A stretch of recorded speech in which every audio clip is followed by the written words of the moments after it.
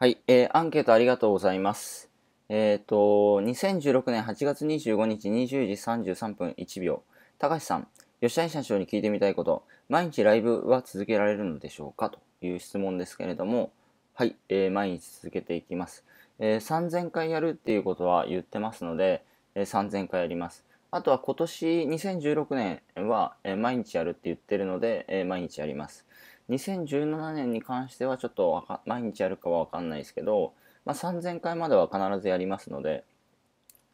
うん、まあそんな感じですね。はい。うん、だから別に、まあライブ放送に関しては、あの、僕は、えーどこに、どこの場所いても、えーやってますし、えーもうあの、なんだ、まあ体調不良でどうしてもっていう時は、えー放送もしできなかったっていう体調不良で放送ができなかったっていう日が多分今年は1日ぐらいあったかな2日か。でその時は、えーちょっとその日寝てから朝、えー補填で放送したりとか、まあ、そんな感じでまあ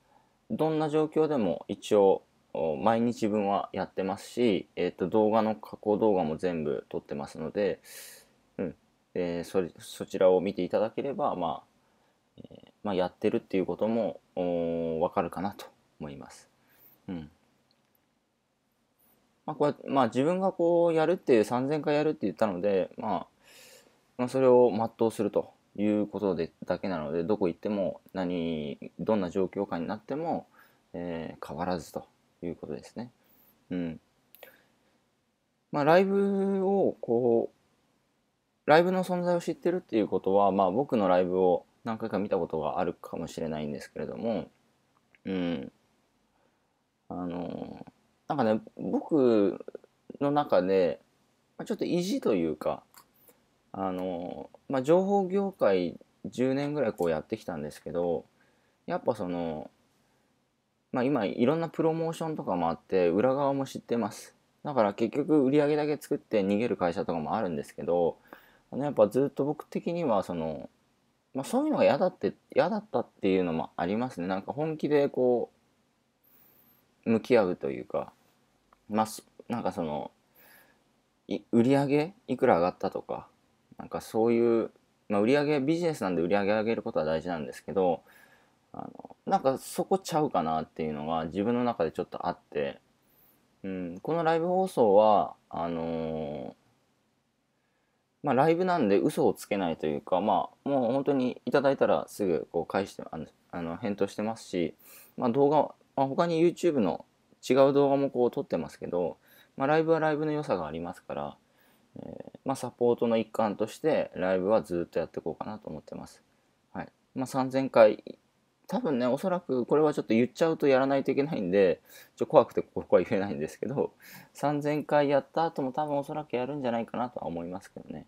ただまあ3000回っていうのがなぜ3000回に設定したのかっていうと3000回ぐらいやるとちょうど僕が40歳なんですね。